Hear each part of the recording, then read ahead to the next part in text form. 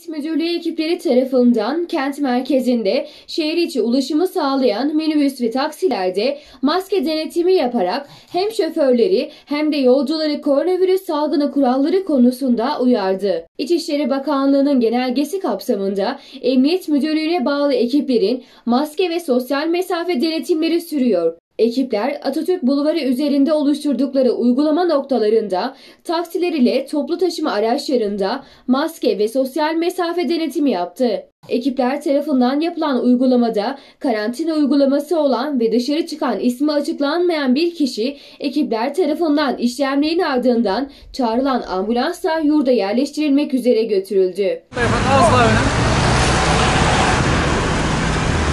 Az.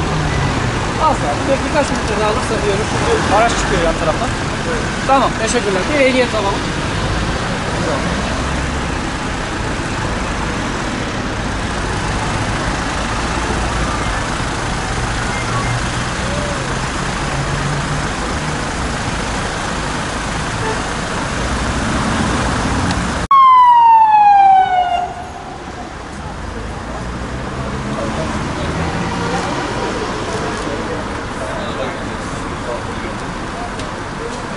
Evet. İki Hayır.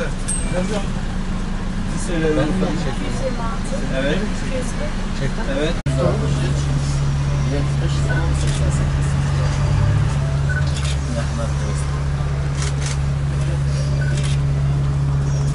Siz okuyun. Evet. Evet. 30. Evet. Evet.